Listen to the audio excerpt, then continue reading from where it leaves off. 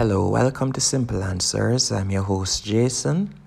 In this video, I'll be showing you how to delete a credit card from iCloud or how to remove credit card off iCloud. First, you'll need to go into settings. Once in settings, you're going to tap on your Apple ID right at the top. Then you're going to select payment and shipping and give it a few seconds. Next, you're going to tap on edit in the top right hand corner.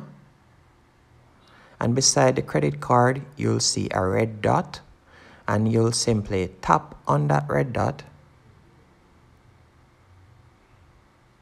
and you'll see the option remove and you can simply select remove and after you have removed the credit card you can tap on done in the top right hand corner